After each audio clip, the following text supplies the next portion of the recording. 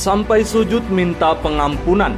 Sidang putusan hari ini pada Senin 13 Februari 2023. Terdakwa utama perencanaan pembunuhan berencana terhadap Brigadir Nofriansa Yosua Huta Barat yaitu Ferdi Sambo resmi dijatuhi hukuman mati agar tidak ada korban seperti Yosua Yosua lain selanjutnya.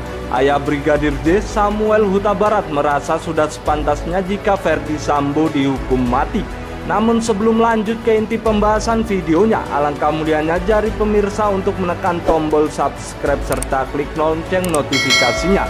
Agar tidak terjadi kesalahpahaman, simak video ini sampai habis. Setelah berlangsungnya sidang putusan hari ini, ayah dari almarhum Brigadir J Samuel Huta Barat tetap pada pendirian awal yakni menginginkan Ferdi Sambo difonis hukuman mati. Menurut dirinya, apa yang dilakukan oleh Ferdi Sambo dalam melakukan perampasan nyawa terhadap salah satu putranya yaitu Brigadir J sangatlah tidak manusiawi. Kalau dilihat dari skenario pembunuhan oleh Ferdi Sambo, ini sangat sadis melebihi seekor hewan. Padahal kita membunuh hewan saja tidak sampai seperti itu, ucap Samuel Huta Barat. Dengan menjatuhkan hukuman maksimal yaitu hukuman mati terhadap Ferdi Sambo, Samuel Huta Barat berharap nantinya tidak ada kejadian yang sama seperti yang menimpa putranya.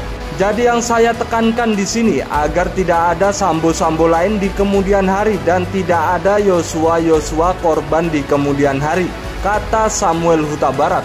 Tak hanya itu, Samuel Huta Barat juga menilai Ferdi Sambo sudah mencoreng citra polisi dengan membangun kebohongan dan skenario dalam merencanakan pembunuhan berencana terhadap putranya. Padahal dia itu adalah seorang jenderal bintang 2, seharusnya dia menjadi panutan di kepolisian. Ini menjadi contoh yang tidak benar dia sudah mencoreng nama baik seluruh instansi kepolisian. Tegas ucapan ayah almarhum Brigadir J. Di mata Samuel Huta Barat sikap Ferdi Sambo dan istrinya Putri Chandrawati dianggap tidak punya rasa bersalah walaupun telah menghabisi nyawa putranya. Oleh karena itu Samuel Huta Barat beserta keluarga meminta jaksa hakim yang memimpin sidang vonis hari ini untuk menjatuhkan hukuman maksimal kepada Ferdi Sambo dan Putri Chandrawati.